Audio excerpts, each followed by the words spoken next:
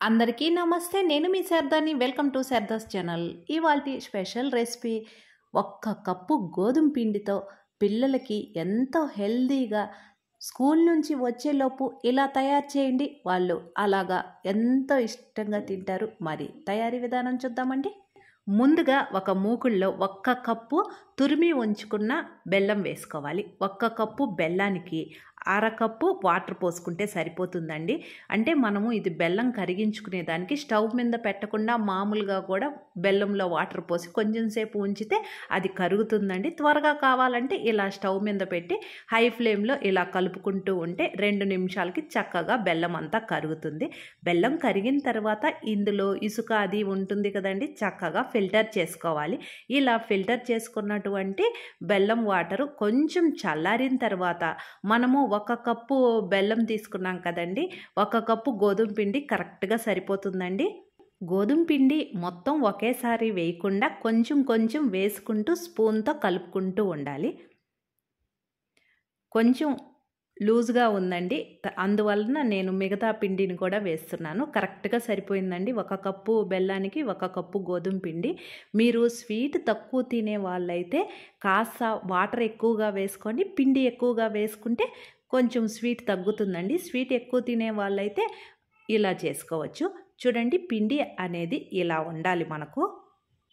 ఇందులో చిటికెడంతా వంట సోడా వేసుకోవాలి. వంట సోడా వేసుకున్న తర్వాత చక్కగా కలిపి మూత పెట్టి అరగంట పక్కన పెట్టుకుందాం. అరగంట అయిన తర్వాత చూడండి మనకు ఇలా వస్తుంది.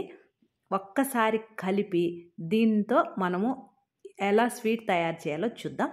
గొంత పొంగనాల ఫ్రై ప్యాన్ ఉంటుంది కదండి నాన్ స్టిక్లో అది తీసుకున్నాను. దాంట్లో కాస్త కొంచెం కొంచెం నెయ్యి వేసుకుంటున్నాను. నెయ్యితో చేస్తే ఇవి చాలా రుచిగా ఉంటాయి. మీకు నెయ్యి ఇష్టం లేకపోతే ఆయిల్తో కూడా చేసుకోవచ్చండి.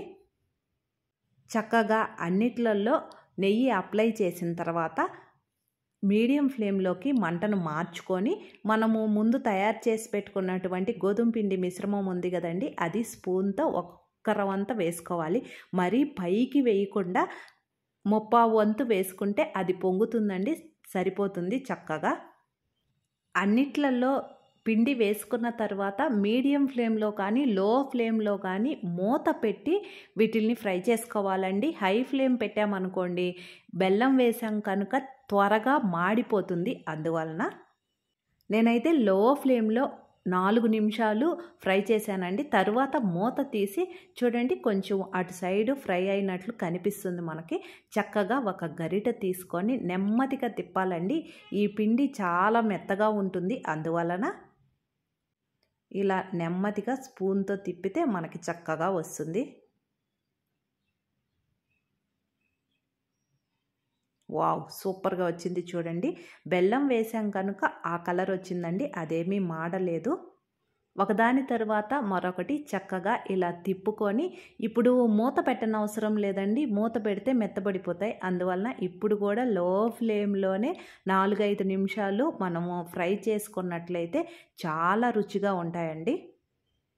ఇలా గోధుమ పిండి మిశ్రమం తయారు చేసుకున్న తర్వాత ఆయిల్లో కూడా డీప్ ఫ్రై చేసుకోవచ్చండి. ఇలా చేసుకుంటే తక్కువ ఆయిల్ పడుతుంది. నాలుగైదు నిమిషాలకి చూడండి మనకి రెండు వైపులా మంచి కలర్తో ఫ్రై అయిని వీటిల్ని పక్కన ప్లేట్లోకి తీసేసుకుందాం ఇలా. అంతేనండి. సింపుల్గా ఒక్క కప్పు గోధుమ పిండితో పిల్లలకు ఎంతో హెల్తీగా ఈవినింగ్ స్నాక్స్ తయారు చేయవచ్చు. ఈ వీడియో మీకు ఏమాత్రం ఉపయోగపడుతుంది అనుకుంటే లైక్ చేసి షేర్ చేయండి.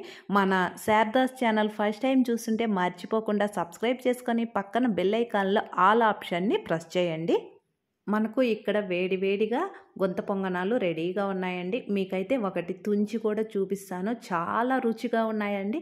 ఒక్కసారి ఇలా ట్రై చేయండి. మన శారదాస్ ఛానల్లో స్నాక్స్ రెసిపీస్ చాలా ఉన్నాయండి. మీరు ప్లేలిస్ట్లో చూస్తూ ఉండండి. నేను వేరొక వీడియోతో మీ ముందుంటాను. Thank you.